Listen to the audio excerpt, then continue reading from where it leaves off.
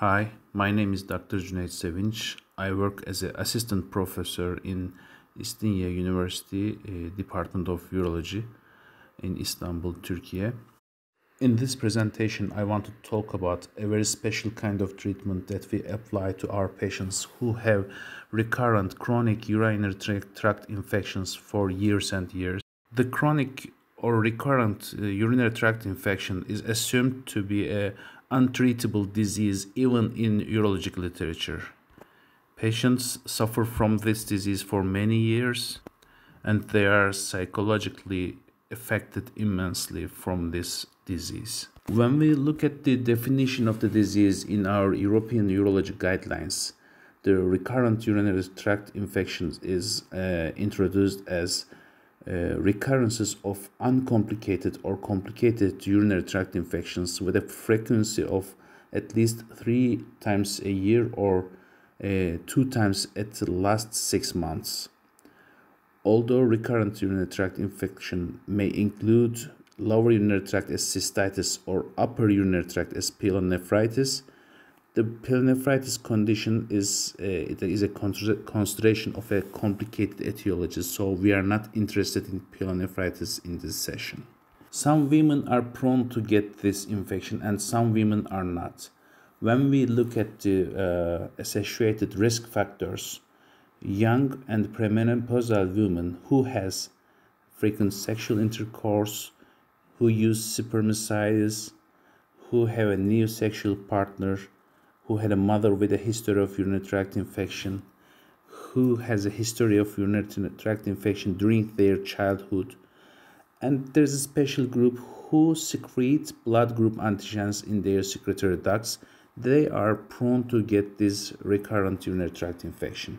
And when we look at the postmenopausal women, they have these kind of women who had recurrent urinary tract infections. They have history of UTA, UT before menopause they may have urinary incontinence.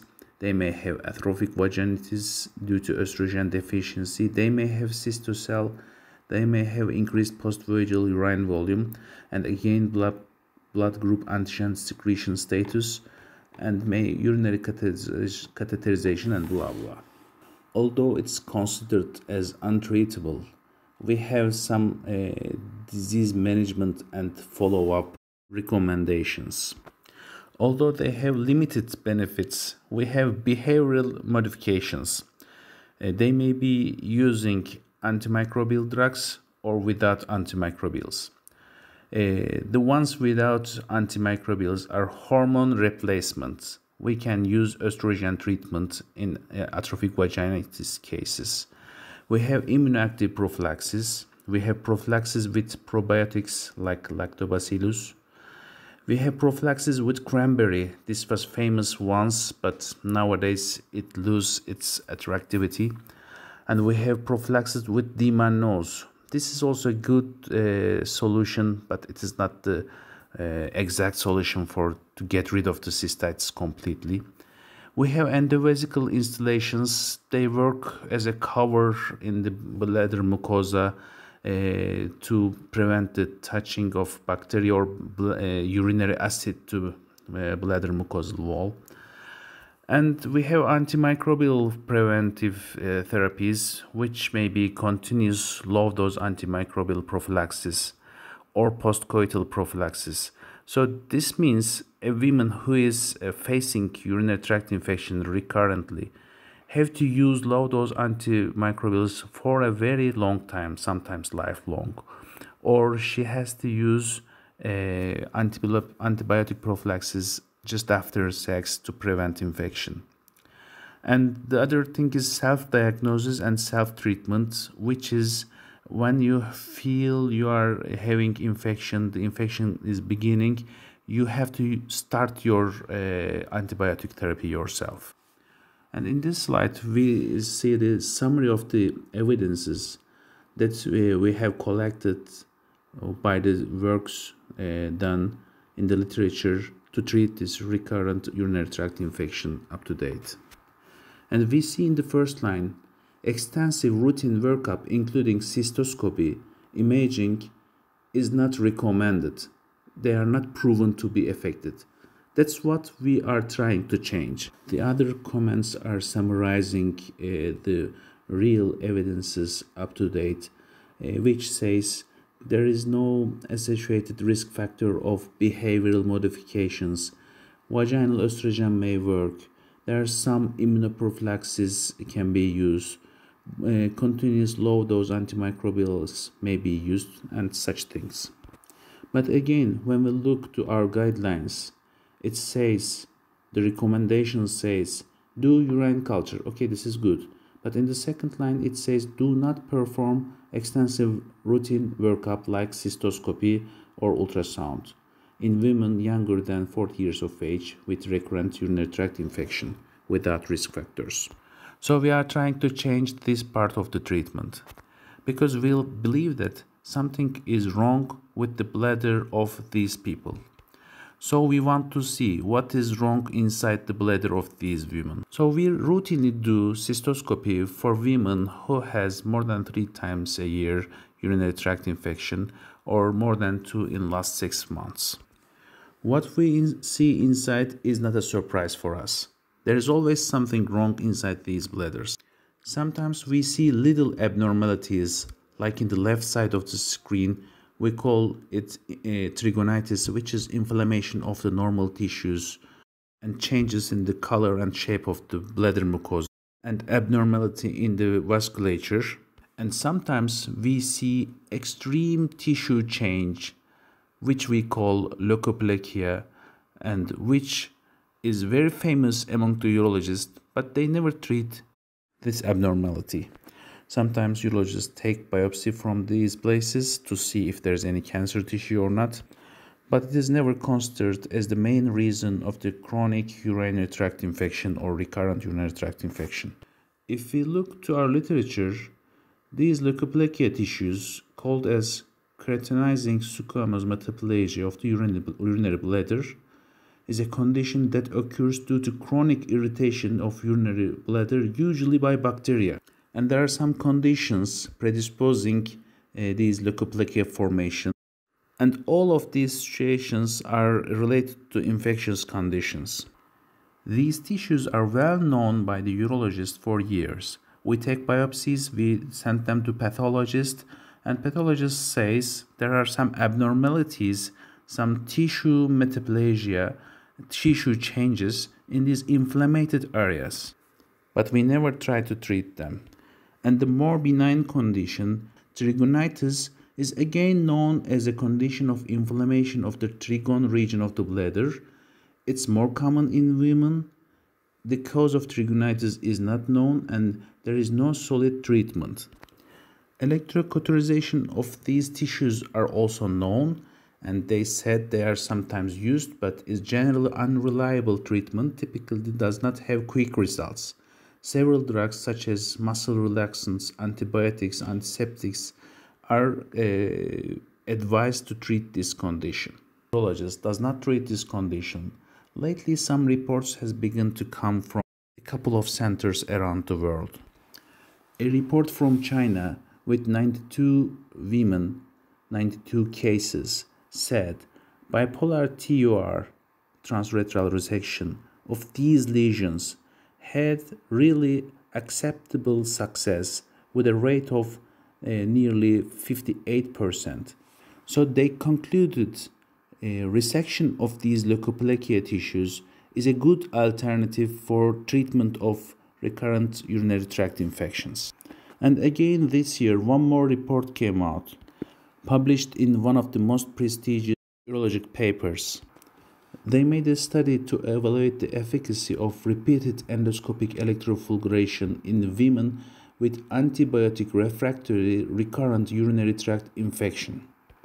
They said some of the patients responded on to one treatment and some of them responded more than one, more than second, even third treatments worked for with electrofulguration in these recurrent urinary tract infections and other scientists made comments on this treatment and they said if similar results of electrofulguration can be reproduced in other centers this is seen as a good alternative in the treatment of prevention of recurrent urinary tract infection and it is reported to be promising in the management of refractory recurrent urinary tract infection.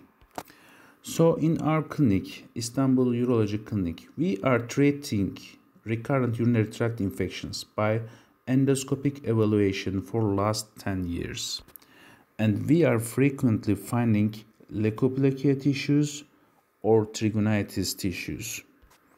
And we fulgurate these tissues with bipolar plasmakinetic energy. Again, here in the left side, this is trigonitis, and in the right side, the two up and down views are leukoplakia tissues, differentiated bladder mucosa tissues. Again, in this picture, you can see the white plaques of leukoplakia spread around the bladder. They are almost always are placed in the entrance of bladder, which we call bladder neck.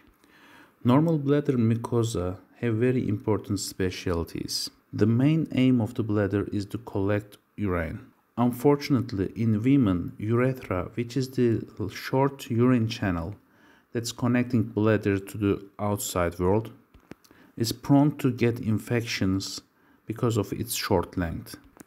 Bacteria always try to go inside the bladder. This is very prominent in during sexual intercourse. But because of the speciality of the bladder mucosa, the bacteria cannot find any place to hold in on the bladder wall. It is shiny and slippery, so bacteria cannot stay and stick into that bladder mucosa. But in some women, the bladder mucosa changes. This may be because of the delay in the treatment of the first infections or sometimes abnormally high amount of vaginal discharge which goes into bladder during sexual intercourse. Generally, women with too much vaginal secretions are more prone to get these kind of infections, bladder infections. And if the tissue changes during the first infections, the leukoplakia plaques may be formed. If these plaques are formed, now bacteria can find a very easy place to stick and to hold on in the bladder, which was impossible in normal bladder mucosa, which is slippery and formed with a smooth surface. So for many years, the urologists see these tissues in the procedures of the bladder, maybe sometimes for other reasons. We knew that these are formed because of infections, but we didn't think that we can get rid of these recurrent infections by getting rid of these plaques. So when we deeply think about the cause of these chronic and recurrent diseases, we notice that these plaques may be the result of the chronic and recurrent infection. And 10 years before, we begin to resect these tissues. By time we noticed that most of our patients were extremely happy. We have a lot of excellent testimonials from our patients. We used every kind of resection devices. We tried many different resection techniques. Sometimes we resected too deep. Sometimes we resected too superficial. And at the end, we concluded that the best is the fulguration of these tissues superficially, not too deep, with plasma kinetic energy. In this slide, you can notice that we do not do a very deep resection. We just do a superficial fulguration to denude the mucosal layer. It's very important to get rid of all the plaque tissues. Leaving behind even a little part of the plaque may cause recurrence of the disease and the repeat of fulguration may be needed in the future. Sometimes, as it is seen in this slide, there may be even worse infective tissues around the leukoplakia tissues. We also treat these tissues. We treat any kind of abnormality in the bladder. As our patients were extremely happy with this procedure, we concluded by their insistings to publish our results with this treatment. Although we couldn't reach all of our patients, we collected the data of 55 patients who had undergone endoscopic evaluation in our clinic and compared their results with 65, 65 patients who were treated with adequate antibiotic chosen according to their urinary tract cultures in our clinic. And for the 50, 55 patients who undergone endoscopic evaluations, for 40 patients, we find leukoplakia tissues, and in 15 patients, we find trigonitis tissues. So, in the follow up, complete healing was having no urinary tract infection. Clinical success was having two or less infections per year, and clinical failure was having three or more infections per year. In an average of 38 months of follow up, in our electrofulguration group, the complete healing ratio was 13 out of 55 patients, which is 23%. They had ne- never they experienced infection. Clinical success, which is two or less infections per year, and they said uh, they uh, concluded the operation is successful. Uh, 31 patients out of 55, and which is 56%. And clinical failure who had the, uh, three or more infections per year is 11 patients out of 55. So, uh, and in the control group, complete healing was only about 7%, clinical success 23%, and clinical failure was nearly 70%. So we can easily say overall, overall success rate of the electrofulguration procedure was 80%. When we deeply look at our results, we find out that leukoplakia fulguration has a success rate of nearly 90%, but trigonitis fulguration has a success rate nearly 54%. So we found out as a conclusion endoscopic electrofulguration of the abnormal tissues in the bladder has a significant success for the treatment of recurrent urinary tract infections compared to conventional antibiotic treatments.